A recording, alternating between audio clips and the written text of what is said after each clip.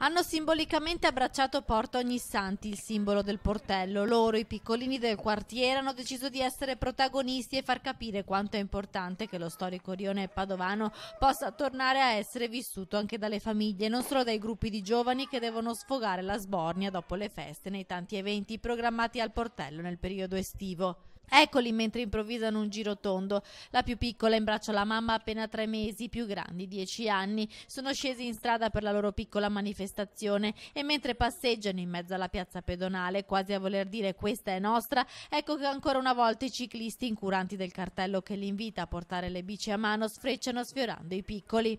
Viva il portello!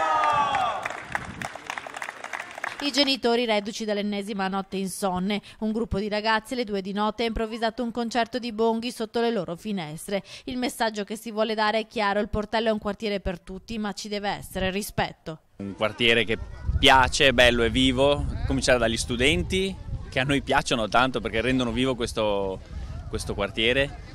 Ci sono anche i bambini e le famiglie, è importante che tutte e due riescano a convivere, ci vuole un po' di compromesso tra il divertimento degli adulti e il, il, benestare delle famiglie e dei bambini. Noi vediamo i ragazzi, a noi piace vederli, che si divertano, l'importante è che abbiano il, il limite, che oltre il tot di tempo, delle due del mattino, eccetera, che si faccia silenzio, che quantomeno anche noi riusciamo a dormire. Loro si divertono e noi riusciamo a dormire il giorno dopo andare anche a lavorare.